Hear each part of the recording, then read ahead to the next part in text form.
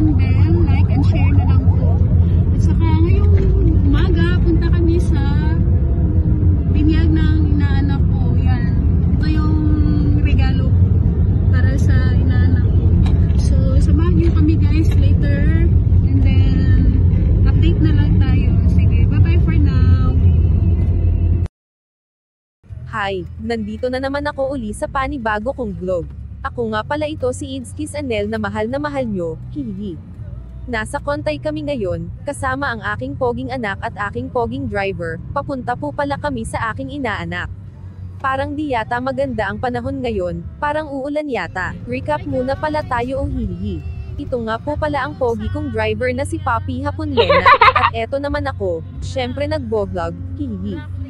Buti na lang may poging cameraman ako.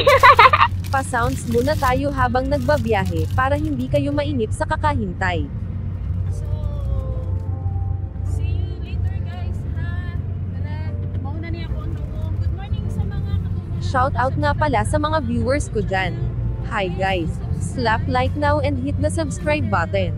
Ang hindi mag-like neto ay maging pangit bukas.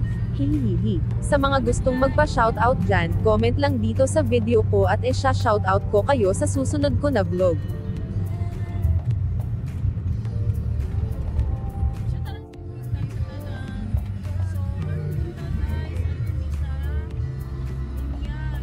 Driver niyo pagod na. Kasama ko yung mga, ano, ko. Ano sir? Pogi ni Shonte. Oh no.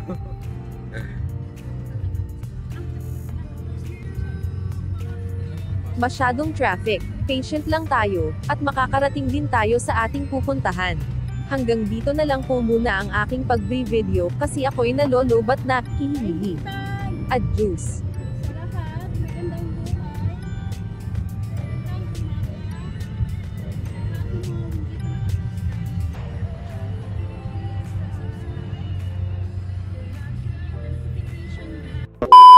Shout out nga ulit sa pinakamaganda kong kliyente na si Madam Maid Alan Lozano. Salamat sa pag-imbiti mo sa amin, nag-enjoy talaga kami at nabusog, yum yum. Eto nga pala mga litrato na nakuha ko kanina, ang ganda ng venue, sulit sa budget, hihihi, yun lang po muna para sa aking vlog ngayon.